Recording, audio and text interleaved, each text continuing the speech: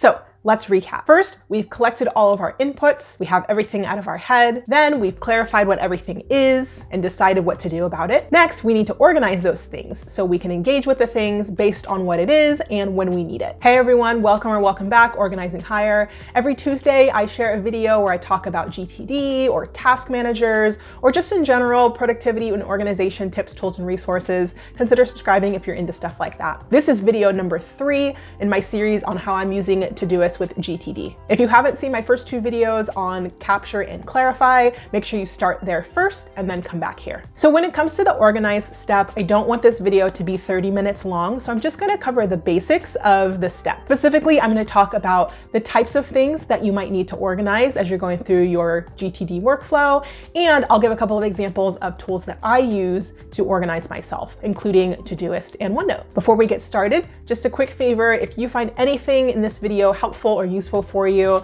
please hit the thumbs up button. That does a couple of things. Number one, it gives me feedback that you like the stuff that I'm talking about. And number two, YouTube uses that as a sign that other people might like this video and they recommend it to other people as well. So it helps get the word out about my channel and it's really motivating for me. Okay, let's get started. So the GTD book outlines seven different types of items that you'll likely need to organize. And the seven things are a list of projects, project support material, scheduled actions on your calendar and information to support support those, a list of next actions, a list of things you're waiting for, reference material, and a list of things you'd like to do someday, maybe. Now, depending on the work that you do, you might find that you don't need all of these different lists, or maybe you need a list that's not one of these, but these are really the primary ones to get you started. So for the rest of this video, I'm just gonna go through each of the types of lists and talk about how I'm using tools like Todoist to keep myself organized. First up is the projects list. This is pretty easy with Todoist because making a project is built into the UI.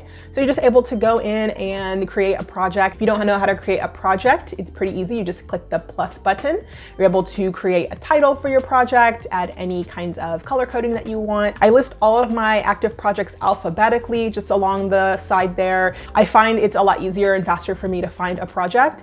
And then in the style of GTD, I always try to use outcome-based titles. So instead of clean my house, have a clean house is my project project name. I don't add any emojis or anything like that to my projects because it's just extra visual clutter for me. I do differentiate work projects from personal projects only visually, so the different colors, blue for work projects and purple for personal projects. I have a couple other colors that are in there that are just kind of maybe one-off projects or aren't necessarily connected to either work or personal, but I still have them all in one alphabetical list because I want to still be able to see all of my projects at one time, regardless of whether they're work-related projects or personal projects. I also like that during my weekly review, I'm able to really quickly look down my projects list and you can see the little number after the project title and see if there's at least one thing in that project. And then I just quickly look to make sure that at least one of those tasks in that project has a next action label associated with it. I don't engage too much with the project during the weekly review, depending on how much time I have. It's just to really quickly remind myself of what my projects are and their basic status. When it comes to project support, there's three places that I keep this material. The first is email. In my other video, I talk about my GTD email folder setup, and I have project support folders for certain email heavy projects that I'm working on. That way it's easy to reference any kind of email conversations that we've had. The second place is in Todoist itself. I'll place a comment in the project comments, not in the task comments, but I can add quick notes to myself or any files that I need to have or photos or things like that. It's good to just be able to reference that really quickly when I'm looking at a project if I need to. And the last place is within OneNote. I use OneNote for kind of heavier duty things is how I'm gonna describe it. Stuff that I want to have a bit more flexibility with. The comment section in Todoist is a lot more static. You can't do things like highlighting. So with OneNote, if I have notes or any kind of support within a project, I can use the really powerful search feature to find the things that I need for that particular project. And then I can highlight stuff if I want it to stand out. I can insert PowerPoint slides that I can then write on and take notes. So I really like using OneNote for like heavier duty project support. The next area is scheduled actions on a calendar. So I mostly use Microsoft Outlook for my calendar, my main calendar at work,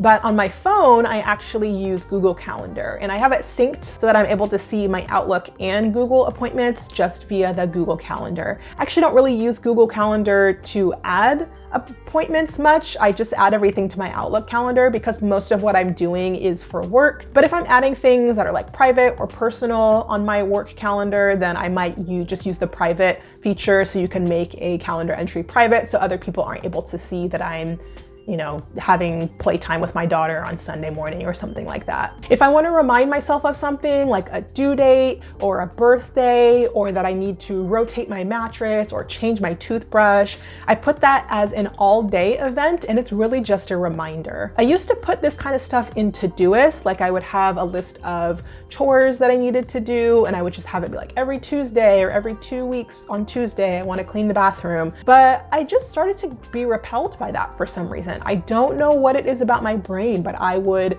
see that I needed to clean the bathroom on Tuesday and I would not clean the bathroom on Tuesday. And of course, being able to see that it's an overdue task the next day made me feel some type of way. So I just moved it to my calendar and it's just a reminder because I don't actually have to clean the bathroom on Tuesday.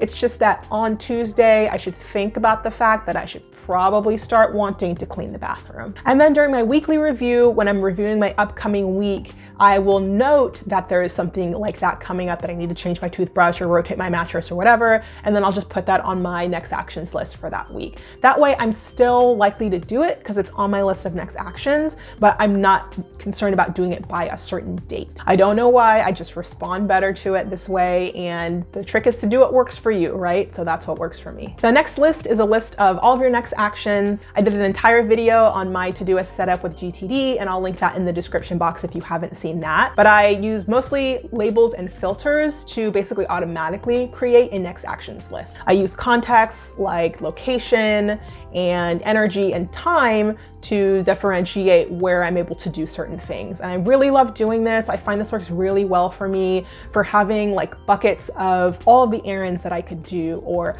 all the emails that I can send or everything that I need to do at a computer.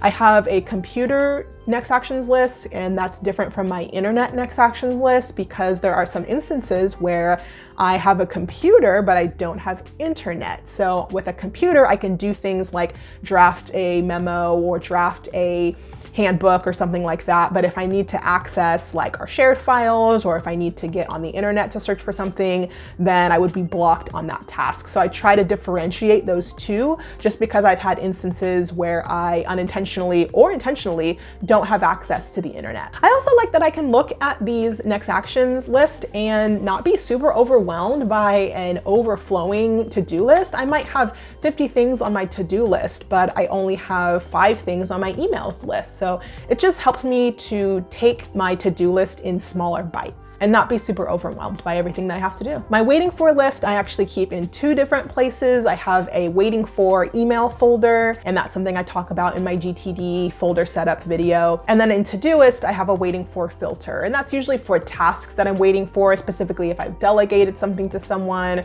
or if I have sent an email to someone and I wanna follow up with them, I'll usually make note of that stuff in Todoist, and then I just add the the waiting for tag. And then when I'm doing my weekly review and I get to the step where I need to review all my waiting fors, I just glance at that list and it reminds me to either follow up with people or just gives me a reminder of what I'm still waiting on from folks. I did a video on how you're able to use filters in Gmail and rules in Outlook. So my waiting for emails that I send are automatically put into a waiting for folder anytime I BCC myself on an email. So I don't have to send an email and then make a copy of that email and then drag it to my waiting for folder. It's all just in one step automatically. And I have a, a receipt, if you will, of all the stuff that I am waiting for when I send out an email. My reference material is in a couple of different places, kind of depending on what it is. So for example, my personal paper reference stuff, I have a bin that is way overdue to be replaced. I think I've had this bin like 15 years or something, but uh, it, I mean, it still works, it still holds paper. It's just getting a bit full and David Allen was absolutely right when he said that if you have an overfull bin that you're not going to file things, and I totally don't. I'll just stick papers on top of my file bin instead of actually filing them. Even though it only takes me like 30 seconds to file them, it's still that just 30 seconds is so much longer than the five seconds it takes me to just put it on top. But I know that that means I just need to get a different, bigger file bin. My file bin isn't anything fancy. I have my taxes and I have them by tax year. It helps me around tax time when you get all of these random W-2s and all these bank things and to kind of collect all those things so they're not floating around, I just have a folder for that tax year. So I have a 2020 tax year folder and I put all my things in there so that way when I go to do my taxes, I can just pull that folder out and all the stuff that I need to do my taxes is in that one folder. Most of my digital reference stuff is in OneNote. I really like that I can put a password on certain sections in OneNote because some of the reference material that I have is a bit sensitive and private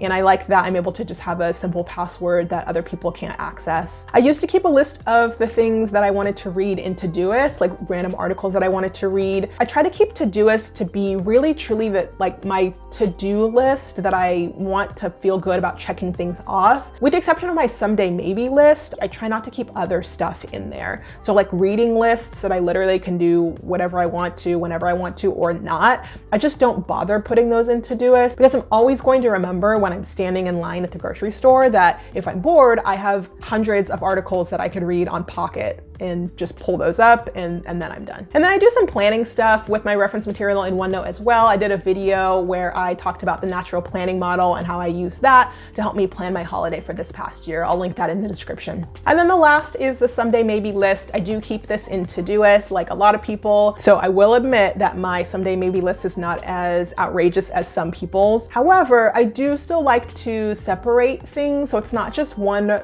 flowing stream of consciousness. I use sections to differentiate like things I want to buy versus things I need to research versus stuff I want to do.